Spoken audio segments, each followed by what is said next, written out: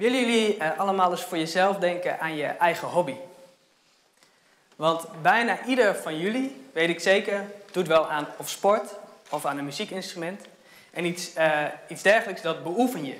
En dat woord beoefenen, dat is belangrijk, want je oefent een vaardigheid om er beter in te worden. Nou, daar gaat uh, mijn verhaal over. En de boodschap is, door te variëren leer je meer. En dat is belangrijk, want je hele leven moet je optimaliseren. Uh, je wordt ouder, je lichaam verandert, je omgeving verandert. En je moet uh, blijven optimaliseren. En wij bij bewegingswetenschappen onderzoeken dat proces. Hoe werkt vaardigheid? En we onderzoeken dat op de plek waar dat misschien wel het allerbelangrijkste is, namelijk in de revalidatie. Daar is leren geen optie, daar moet je wel leren. Als je bijvoorbeeld een dwarslesie hebt, dan ben je van de een op de andere dag afhankelijk van je bovenlichaam voor al je mobiliteit. En uh, dan zul je wel moeten leren, want dat, alleen dat bovenlichaam gebruiken, dat kost heel veel energie. En ik heb hier een voorbeeld van iemand met een dwarslesie die een stukje in een rolstoel rijdt. Ogenschijnlijk niet altijd ingewikkeld, maar je kunt eigenlijk wel zien hoeveel energie hem dat kost. En die energie die krijgt hij die dag niet terug. Dus zorgen dat iemand daarin vaardig is, is heel belangrijk. Ik wil jullie ook de andere kant laten zien. Kenny van Wegel, Paralympisch atleet, goud op de 200 meter. En u ziet hem hier als geweldige atleet supersnel in een, uh, alhoewel iets betere rolstoel voor wat hij wil doen, uh, voortbewegen. Maar ook hij moet natuurlijk zijn uh, prestatie optimaliseren. En ook voor hem geldt dat dezelfde vaardigheid van belang is. Nou, wij onderzoeken dat in het lab, waar we aan alles kunnen meten. En hier ziet u een volstrekt anonieme proefpersoon, die even probeert uh, hoe dat dan werkt. Maar wat ik u wil laten zien, zijn deze meetwielen. En die meetwielen, die meten dat signaal dat u daarnaast op het scherm zag. En daardoor weten we precies wat iemand doet met zijn rolstoel. Nou, als we dat combineren met het uh, meten van het zuurstofverbruik van iemand, dan kunnen we zeggen hoe efficiënt die persoon uh, zich voortbeweegt. En dat hebben we onderzocht door 70 mensen te leren rolstoelrijden. En als je dat doet, dan zie je hier een hele mooie stijgende lijn in die efficiëntie. Dus op groepsniveau leert iemand zonder feedback vanzelf efficiënter te rijden. Nou, dat is al een hele belangrijke bevinding, dat mensen zichzelf weten te optimaliseren. Daar hoef je ze niet iets over te vertellen. Dat gebeurt wel als ze dit gaan oefenen. Maar we zijn verder gaan kijken, want met 70 proefpersonen kun je ook kijken naar individuele verschillen en wat er nog meer gebeurt. En we gingen kijken naar hoe die mensen, uh, of we ze als verschillende groepen konden klassificeren. En dan zie je dit. En uh, als u met me meekijkt, dan ziet u uh, één groep, die heb ik de gelijkblijvers genoemd. En die lijken een beetje op de Groningse horizon. Die veranderen niet en zijn een redelijk eentonig beeld.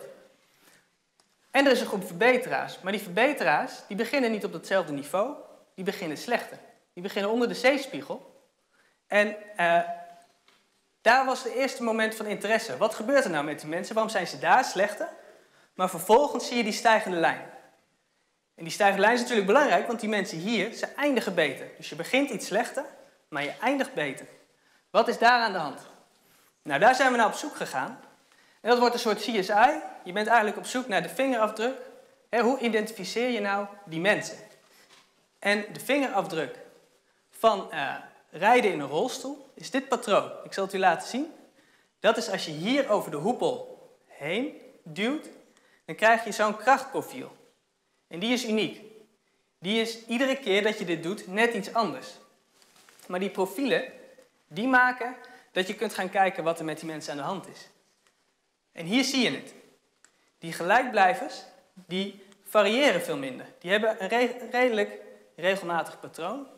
Terwijl die verbeteraars, die variëren veel meer. Zie je dat? Die maken er eigenlijk een beetje een uh, potje van.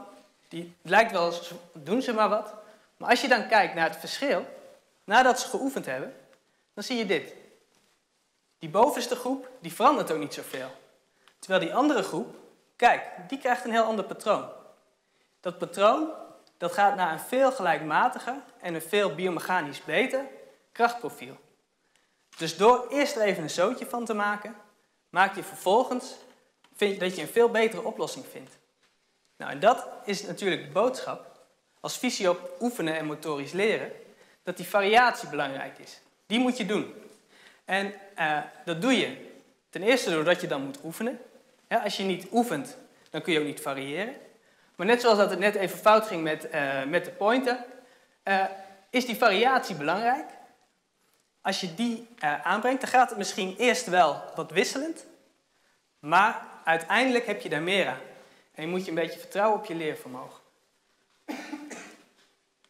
nou, dat vertaalt natuurlijk in de dag van het onderwijs ook naar onderwijs.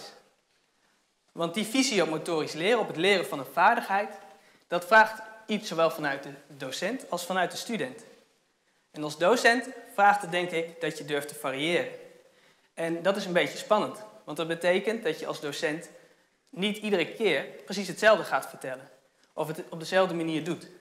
En hier zie je een klein voorbeeld voor hoe wij, alhoewel versneld, uh, wiskundecollege geven of biomechanica college. Dat is door het live uit te schrijven onder de beamer. Dus dit is wat je dan direct online ziet, live. En uh, ik denk dat dat goed helpt, doordat je het verhaal daardoor iets anders vertelt iedere keer. Het komt steeds net iets anders op papier. En dat helpt de studenten ook om te zien dat, je het, uh, dat die variatie mag, dat dat kan. En uh, tot slot, vanuit de student, heeft het denk ik een belangrijke boodschap dat leren niet iets is wat je opgelegd krijgt. Leren dat kun je niet uh, vanuit de docent in jou poppen, dat moet je zelf doen. En dat leerproces, daar kun je zelf wat aan doen door te oefenen en te variëren. Oftewel, door te variëren leer je meer. Ik dank jullie voor de aandacht.